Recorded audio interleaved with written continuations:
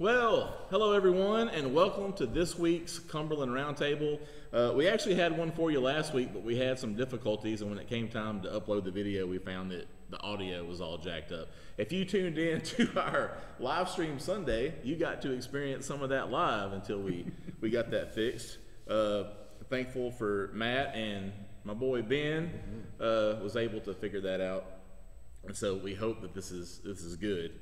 Uh, this week we are looking at Matthew 18 verses 15 through 35, and we invite you to listen along to our discussion today. And whatever format you find this on, if you receive this as a Flocknote like an email or a text, if you receive this uh, via Facebook or YouTube, by all means, please uh, in the comments share what your reflections are. Help help us grow uh, from your observations and reflections. Uh, let's see, who would like to read for us today? I'll read. Excellent. Matthew 18. You already said that, didn't you? I did, but you can say it again. Oh, that's okay. You're in charge of reading, man. You say it however you want. All right, then. If another member of the church sins against you, go and point out the fault when the two of you are alone. If the member listens to you, you have regained that one. But if you are not listened to, take one or two others along with you, so that every word may be confirmed by the evidence of two or three witnesses. If the member refuses to listen to them, Tell it to the church, and if the offender refuses to listen even to the church, let such a one be to you as a Gentile and a tax collector. Truly I tell you, whatever you bind on earth will be bound in heaven, and whatever you loose on earth will be loosed in heaven. Again, truly I tell you, if two of you agree on earth about anything you ask, it will be done for you in my Father by my Father in heaven. For where two or three are gathered in my name, I am there among them. Then Peter came and said to him, said to Jesus, Lord, if another member of the church sins against me, how often should I forgive? As many as seven times? Jesus said to, him, Not seven times, but I tell you, seventy-seven times. For this reason, the kingdom of heaven may be compared to a king who wished to settle accounts with his slaves. When he began the reckoning, one who owed him 10,000 talents was brought to him. And as he could not pay, his Lord ordered him to be sold, together with his wife and children and all his possessions, and payment to be made. So the slave fell on his knees before him, saying, Here, have patience with me, and I will pay you everything.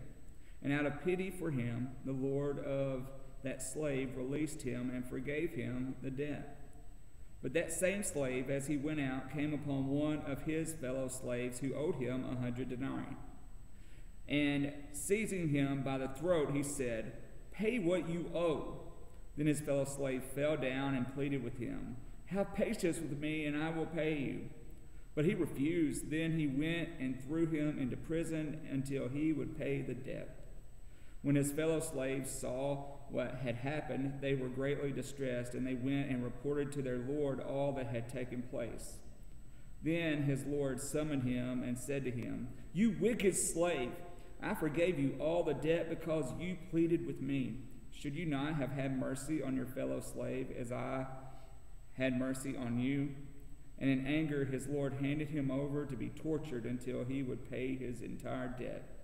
So my heavenly Father will also do to every one of you if you do not forgive your brother or sister from your heart. This is the word of God for the people of God. Thanks, Thanks be to God. Uh, Samantha, would you pray for us this morning? Yeah, let's pray. God, we just pray that you would fill us with your spirit as we discuss and think and share, that you would open up this passage of Scripture, um, soften our hearts so that we can receive it. Give us understanding, God, and make us able to forgive. In Jesus' name we pray. Amen. Amen. Amen. All right, Matt, why don't you get us started today?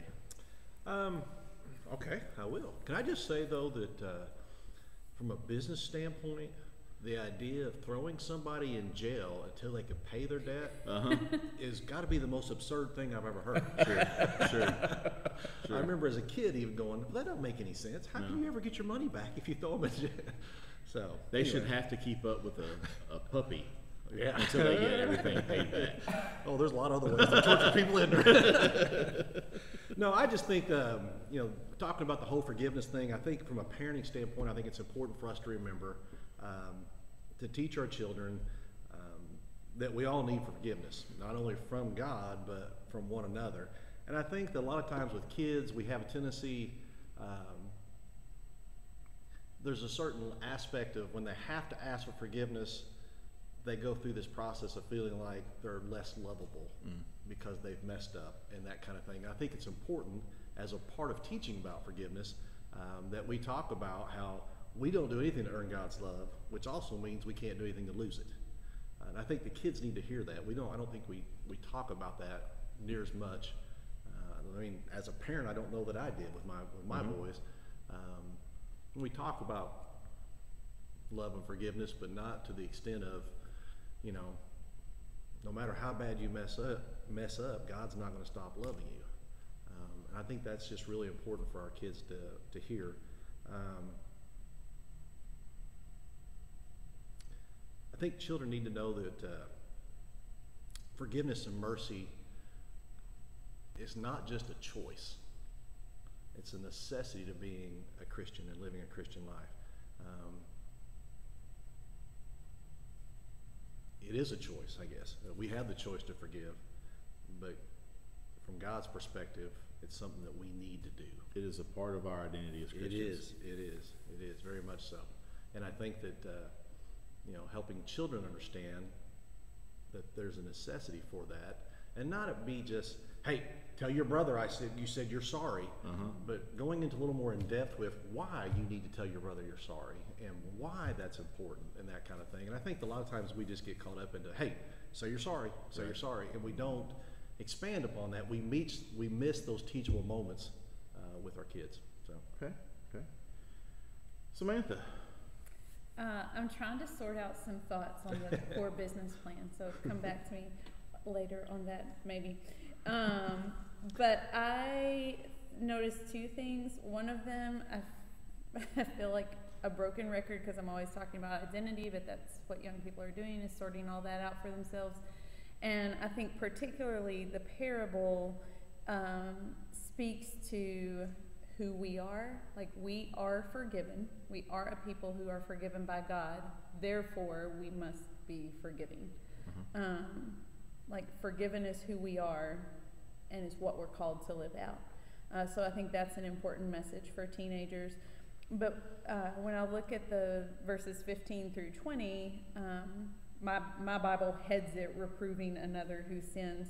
Um, I just think we don't do that very well. I don't think we model it. I don't think we teach it. And in fact, I was saying that we're doing uh, in Thrive, we've been doing communication skills, and um, tonight it's on learning how to like kind of heartfelt and appropriately pol- apologize. Uh, when we had it last, well, not last week because it was Ash Wednesday, two weeks ago, um, it was like kind of not really de-escalation, but kind of conflict management. Um, and I think it's kind of ironic that we would teach that as a life skill when actually Jesus tells us, Jesus instructs us on conflict management. But it, uh, it like feels better if I'm upset with you to talk about it with you. You know, like it makes me feel better because maybe you agree with me or maybe you say like, yes, sometimes Matt's a real jerk or, you know, so we, we feel better. You heard it here first, folks. Sometimes Matt is a real jerk. Um, what what I think kind of ties a thought that I have tying the both of your reflections together. Um, we don't we don't always do a good job of teaching this, or what, we're not good at it. Um, maybe we're not good at it because we don't teach it, but also I don't think our culture practice it. our culture doesn't really value Yeah. it very much. Right. I think you're right. You know, uh, so much of who we are in the West and who we are as Americans is, um, and we, we don't understand. Wow, that's a really interesting rabbit hole. Uh, we, we, we don't understand what we mean when we say we have rights. We, we throw around that we have rights to things like you can't tell me what. So it's a it's a pride thing that a part of our culture is to set us up where if you try to call me out on something, even out of love, even out of genuine concern for uh, for me or for our relationship or for my job or for whatever, like I think that most Americans um, puff up. Mm-hmm. How dare you? Who are you?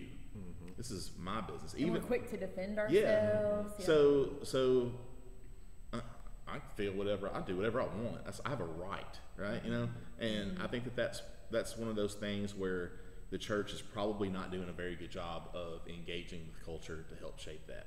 Because we we don't possess enough humility to hear, you know, like I don't know if you tell me something, some way that I've offended you or whatever, I have to be like tender enough to receive that. Sure. Sure. Even if I my even if my inclination is to kind of puff back up or defend myself or whatever. Right.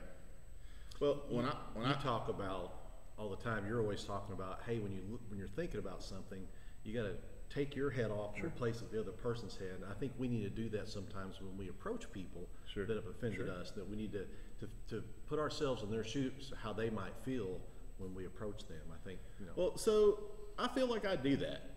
And it is the most non gratifying thing to do that and then to go and try to engage with folks, keeping that all like giving it the good old college try and still coming out of it with them being so defend like I don't know that like I get what I'm saying is is I get the taking the easier route of triangulation.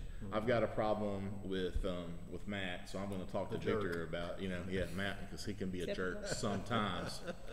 so I talked with Victor about Matt, and it's a way of me processing, trying to get some validation, you know, from somebody else to say, well, yeah, the way you're feeling isn't unfounded. Matt can be difficult sometimes or whatever, but it doesn't address anything, and it sure doesn't have any concern for Matt at all. When I do this triangulation, it's really all about me.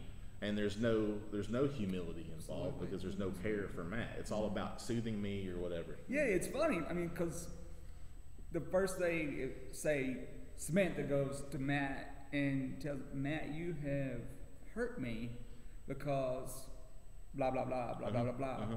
And oftentimes our our first thing is, "Well, I didn't do that." It's not what I meant to do. I didn't That's- mean to. I didn't- That's yeah. not what I said. I can't tell you because I said it of to like- my wife. Oh my goodness, I am so sorry that I've hurt you. Mhm. That I mean, that's I, that should be our Yeah. response. Is like, yeah. I in no way meant to do that, but I, uh, I'm sorry. obviously I've done it, and I'm sorry, and I will try to work. That's a great communication. Is is they could first of all, like you say, put her head on your head, Right. which is really weird. I call it the bobblehead technique. bobblehead. yeah. Yeah. Trademark. And what what gets me, I mean, you you were talking about the world, um, and how like out in the world it is is um, we just don't do that. We're- Right. We're, not good at it, and and I feel like those worldly ways have crept into Oh, the sure. church because Absolutely, think yeah. think about this. How many times have people left the church because they were mad? Hmm. Oh, a lot. Hmm. There are times we don't even know why they're mad. Sure. I mean, Sure. sometimes they'll storm out of a meeting or storm like, wait a minute, what has happened here? And it's because we don't practice. Sure. Or later we on, you practice go to talk to them, and they're like, "It wasn't anything. It was nothing you did." Sure. Well, obviously, you, somebody did something. It's me, right? Well, there was some. So it makes me think of two things. One is a little bit of confession time. Like I am, I acknowledge when, when I came to work here, one of the first things I did was express to the session at the time. I said, "Look, if the time ever comes where we are at some genuine impasse, where y'all are all kind of in agreement on something and you're trying to relate that to me and I'm just not hearing it, if I'm coming back defensive or I'm or and defensive looks like a lot of different ways. Sometimes defensive is um, I just can't do that right now. Like avoidance. Sometimes it's well, let me over explain it. So because if you just really knew what I was thinking when I said or did this thing, you wouldn't feel or think the way that you think or feel because I can explain it to you and make me right. That sort of thing. I said because I know that I have tendencies and I'm very gifted at doing that. I also know that that's not the kind of relationship that I want to have with the leadership of this mm-hmm. church. That's not who I want to be here. But I'm admitting that this is a, a fault that I have. So, here's some names of three people that I think I will listen to. And here's their contact information. And if you call them and you tell them the story, what's going on, and have them call me and they slap me around and go, Corey, what the hell are you doing? You need to listen to this. Like you're, you're missing this because you're being prideful or whatever. Then that was like a way of me providing a tool to a, a- accommodate my mm-hmm. weakness. Mm-hmm. And I really wish that other people would do that. But that requires a certain level of self-awareness that Yeah. not all of us possess. You know, Sure. like you have to recognize this is where my stubbornness kicks in. Sure. But this is this is who can wade through that and, and make me see. You know, I, I will hear it from these voices if I'm not hearing it from Yeah, you yet. yeah. Um, the the other thing is I Can't believe you put Peggy in that position. uh, no, I did not. I did not. Peggy sometimes has to make the call and have them call me and go like, well, Peggy said, and I'm like, crap. I'm sorry, Peggy. no, um, the uh, I want you all to know that we take very seriously in the way that we treat each other as staff and in the training that we've done, uh, leadership training over the last uh, four or five years with our elders and with our deacons is triangulation, um, coming to talk on the side about problems with people or situations is not acceptable. It's a big X. That's a big X, and it's not. Uh, when y'all got here, the first staff meeting we had, that was the first thing I led with. We do not do that because that kills relationships, it kills community, it kills the church, it absolutely stymies the Holy Spirit and gets in the way, and it's something that we we just cannot allow here. Which means, well, Corey said blah blah blah, painting this picture of this problem that I have with Corey, and it doesn't matter if it's kind the way that it's done. It doesn't matter if it's aggressive. If the problem is with Corey, we go talk to Corey. Which means also, if an elder or a deacon or anyone else in the church comes up and says, "Well, people are saying," who, name names, let's get them involved. Well, I don't know that they're comfortable with that. Well, then we can't discuss this because you and I both know that 99.999999999% of the time, people are saying is a guarded way to give credit to, I'm not happy with this. I'm saying this, but I don't have the um, the wherewithal to bolster it and just say this is how I feel. So I'm going to act like a bunch of other people. You know, and it's, it's very erroneous. We don't do that. So if you, I just want you to know, if you come to us and you do that, and we kick back and go, who? Let's go talk to them too, because I'm not. I want to not have to explain it or deal with it seven times, you know. And I and I don't trust that another person that I've engaged with in a meaningful conversation can carry my thoughts and responses back to a mass of. You see what I'm saying? Like if I'm if, if I'm the one that's that's at issue here, then I'm the one that gets to represent myself in that, just like you should be able to do that. Well, really, it is kind of what Jesus is advocating for here. Jesus doesn't say in the church, if somebody wrongs you, go tell the pastor that somebody has wronged you. Right. Like, Jesus says, go talk to them. And if that does not work, get another couple of people. So it's not that it's all in secret. I mean, Right. you're involving other people. Sure. And Jesus is saying that's okay, but you're not doing it in a back room, you know, or Yeah. in a private text message or whatever. Right. Like, I would say on the flip side of that, if we ask ourselves, are we approachable? Hmm. Are we able to to receive the individual that'll come talk to us? Because oftentimes people may not come and talk to us because they know that we can't handle something that we've done or, Sure. or whatever, and and so they just will stop, and which just makes for a Sure. a lot bigger mess. Sure. Yeah. I can I can admit that if you talk about confession time, uh, there was a point in time in Carol and I's relationship. Every time that she would come with me, come to me with something, I would jump in and try to explain it. No, no, this is what I. And she would just be like, she got so frustrated with me, you know, and and that is our natural tendency, I think, and, and it's easy for us, uh, almost that human nature. Um, to want to help them see this is what I was trying to say, even though that's not what I said Right. um, necessarily or whatever. It took me a long time to get to a point where I had to mm, learn to bite my tongue whenever she would start asking me about something in particular or whatever. And so I think that you're right. That whole uh, concept of approachability, um, it, it's tough. That's a good word. That's a good. It's a real good word. Yeah. What about you, Victor? What have you got from missions and outreach point of view on our text today? Y'all done it all. huh? Well, thank you for joining us today. No, uh, I like to talk sometimes. Really, we hadn't noticed. I knew that was coming. Speaking of self-aware, All right, so the whole forgiveness thing. Seeing it, it's not a suggestion. I mean, it, it's a command by Jesus. Just like Jesus commands us to love, He commands us to forgive. And um,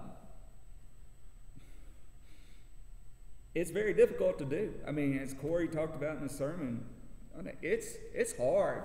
It's very. I'm like, it's just especially if you've been hurt really bad, um, if you've experienced, if you're someone who's who's been abused or someone that has been wronged big time, whether it be Relationships, Relationships, business, yes. school, Being financial. publicly. Oh yeah. It's that's like, it's ooh. huge too. So And to hear this whole thing about forgiveness, um, oftentimes we think that we're we're giving that person a pass.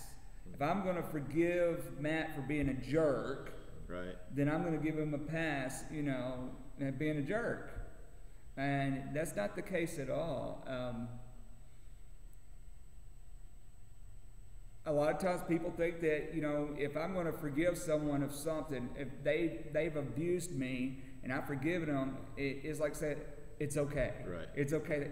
That's not the case at all. Um, uh, God doesn't call us to be a doormat. Uh, doesn't call us to be abused. He did. I mean, He doesn't want us to live that way, um, work in that way, or, or anything else. Uh, no, to forgive someone is to tell someone it's not okay. What you have done to me is not okay. well, God doesn't forgive us and then say sin's okay. I mean, Yeah. Exactly, exactly. And um, and he gives the example if another member of the church sins against you, and he goes all through that, all that. But but it's going to another member of the church and said, "Okay, I need you to go with me." After you have approached someone, it's like, "No, this is real. You've done this. You have done this, and it's not okay." Well, if that doesn't work. Keep on. And uh, then Peter pipes up with, "Oh, "All right, then how many times? I mean, where's the limit? Yeah. How Where can we this? where can we draw that line in the sand? When am I free to not have to forgive them anymore? When am I off the hook for the forgiveness? And you know, people say, "Okay, seventy-seven times. Well, let's start counting." it doesn't work that way. Doesn't work that. Way. Basically, I feel like Jesus is saying here, "Quit counting." Jesus make hand symbol, Yeah. infinity symbol. He just Quit quit counting. Um, Because if you're counting, that's really an indicator Yes. that you're You're doing it for you're- the count. You're doing it for the count. You're really not maybe paying attention, engaging what's Yeah. actually happened here. the the honest thing is is to forgive someone is basically to unbind yourself from. I mean, what does Jesus say here? Binding and loosing. Yeah, Right, you, yeah, you what bind on earth. bound What you bind on earth will be bound in heaven. Whatever you loose on earth will be loosed in heaven. That that is key to this text, and it's key to the um, even the parable is you're unbinding yourself of the evil that has happened to you, of the wrong that has happened to you.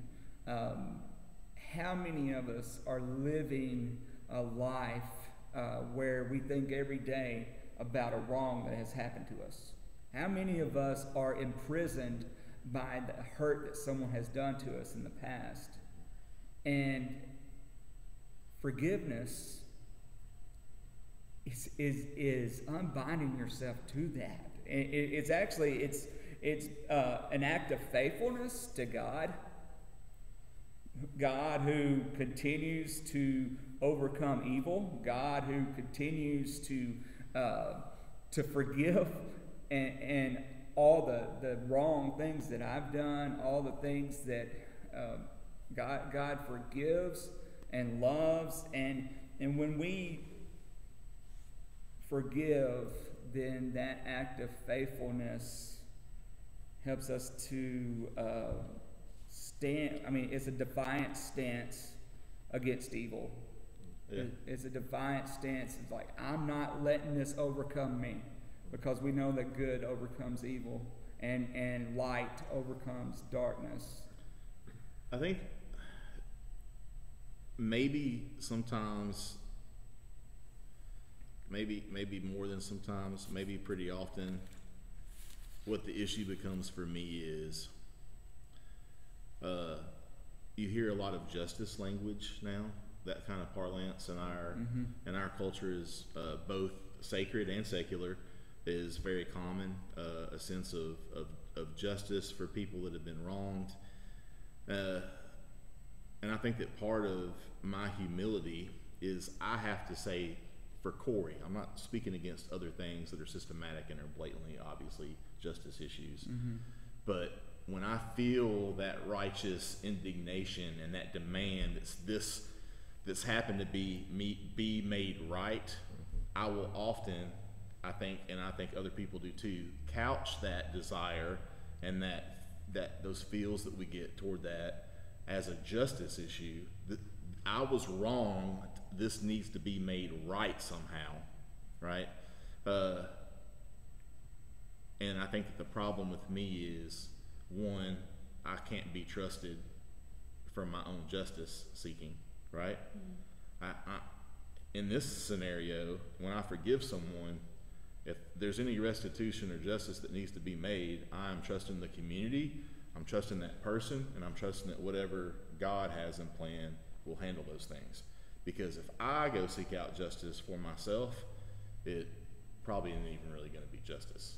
You know what I'm saying? It won't be justice in the eyes of other people. Well, I think we use that term in a very vague way because, well, what we think might be justice, Well, I'm saying Somebody if, else it- may if, it- not. if I'm all in my feels from being hurt or being embarrassed or whatever, if if I go after it to demand it, to to wrestle it from someone or tit for tat, you did this to me. Mm-hmm. It's only right if I do it to you. Then Yeah, that's not justice. that's not justice, mm-hmm. and I can't be trusted to know where that line is. Mm-hmm. Um, I also think that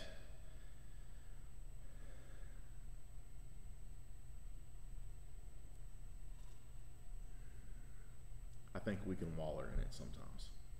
I think that we can play the victim card for ourselves, and we would rather live in the sin and brokenness. And I'm not saying that whatever. I'm not saying we're not victims, but I'm saying we're we can sometimes be more in love with being a victim than we mm-hmm. are with being delivered by Christ and made something new. Mm-hmm. And I think that that's a very sad thing. And unfortunately, I believe that I see that an awful lot. And look at your social media. Mm-hmm. E- And I'm not saying like like celebrities and influencers that you follow or whatever. I'm saying like the people in your world, how quick they are to look at what was done to me. You know, y'all should never ever go to this restaurant ever again because this bad thing happened. Okay, well, sometimes you have a bad experience at a restaurant. You don't know all the variables that are there. You should never ever be a part of this church because of this experience that I had when somebody asked me to move out of their pew. Like, that's not the whole of that congregation. That's not the whole of the life of that church. But but we we blast it, and there's an there's a the opposite of humility. There's a pride, and we're indignant about that, mm-hmm. which mm-hmm. makes when we that's the opposite of what's being said here. Mm-hmm. You know, and even even the part about taking someone to go visit with a person that you believe is wrong to you. There is the chance with this third party that they hear this out and then they go, Corey, they didn't do you wrong. You don't like it, but there was nothing wrong about this. And I think the Yeah, key to that is that, uh, you talked about no triangulation, so if Samantha has an issue with me because I'm a jerk. And she comes and talks to me and I'm like, I'm You not a heard it jerk. here I'm from the not a jerk." lion's mouth. That's right. He is. And then she goes and gets the two of you. Mm-hmm. She doesn't need to tell you ahead of time what that conversation is going to be about. To Let not me to not coach you on how yeah, this will not to go. warp Yeah. your Yeah. your your viewpoint of it and that kind of mentality. And I think Yeah. that's where that becomes very difficult because you know Now we got a posse. yes now now the the West I'm going to Pitchforks and I'm, gonna, torches. I'm, a, I'm immediately going to become defensive when I see three people coming towards me. You know, uh, I think so. That's kind of one of those things that's uh, difficult to to do because if Samantha comes to me and says, "Hey, I need you to go talk to Corey with me about something," I'll be like, "What's going on?" She's like, I, just, Uh, you'll see. co- "Yeah," and that's that's hard. That is I, hard. I mean, it's happened here to me in this church where I, I was asked to come into the senior pastor's office, and there was a church member that wanted to tell us something, and I'm sitting there going, "What's going on?" Right. The senior pastor didn't know either, and we Right. were all just like, you know, and, and it was, I mean, with that not knowing ahead of time, Sure. that feeling like you're not prepared, um, and I think that that sometimes the But that again, plays to our disadvantage. Uh, so. part of that is our insecurities brought up out of fear because what you're experiencing in that scenario is the exception and not the cultural rule. We are used to if we get called into something or invite you could be invited to get be something it, there's nothing about it that's supposed to be about you except for you to come and bear witness then you get in the meeting and you turn out that everybody else is there to beat you up so even the way that it was sold to you mm-hmm. Mm-hmm. to come and experience wasn't really. So we are more used to that than we are the the humble and accountable way that Jesus is outlining here. Yeah. I think there's a lot of discernment that has to be involved in all of this. Uh, of, of going to get that person to, to go to, or to have the conversation first. It's like discerning when when is the good time to, to do this. Or and even- discerning, first of all, did they really do me wrong? Sure. To ask that and ask that over and over is like, I, I, Because can we be clear? Like I just want to be real explicit here. You can experience something in in relationship with someone that you don't like. Mm-hmm. You don't like the way it makes you feel. You don't like the way that it makes you think. But it doesn't make the other person evil or wrong. Exactly. It just yeah. means you don't like it, and people, that's okay. Don't like it. it that's what you speak to. I don't. I just didn't care for that. I don't like the way it makes me feel. No, dive Well, into think- that. Why? Why I do you think not like the that way it makes you discernment is really important too, from a standpoint of, you know, you talked about, you told the session that here are three people that I'm willing to listen to. So if Samantha comes to me and I, I deny it, she needs to think about who is Matt going to possibly listen to. That's who I need to go and bring into this environment Yeah, too. Not yeah. not one of her buddies that's going to back her right away kind of mentality. I think, Right. and so I think, you know, when we get to that point, thinking about keeping that other person in mind, who's going to be influential in them. you And know? don't go get a yes hard to do. person. Yeah. You know what I'm saying? Yeah, like, don't yeah. go get that person Yeah. that that every time you talk to them, they agree with everything you say. They, you know, they will say what you want to hear. It's like, mm, Yeah, yeah, that's you stacking a situation, and Yeah. that's that's a type of manipulation that is specifically what's being forbidden here. yeah, absolutely. Yeah. And that's the legalist kind of way that it's a Pharisaical way that the church would like to handle that. Look, I took two people from the church. Mm-hmm. You you took your You can't take your took- wife and your brother. Yeah, I was gonna say you took your dad and your son. What? You know. Matter of fact, if you really want to be, you know, take somebody you're pretty sure doesn't like you. Yeah. You know? Mm-hmm. Well, thank you all so much. I think this has been a, a, a fruitful conversation. I hope you found it to be so. And again, uh, as you reflect on our time here together or your personal reflections from dealing with the scripture on your own, please share it with us. We'd love to hear it. Absolutely. Uh, and until next time, go in peace. Peace. Bye.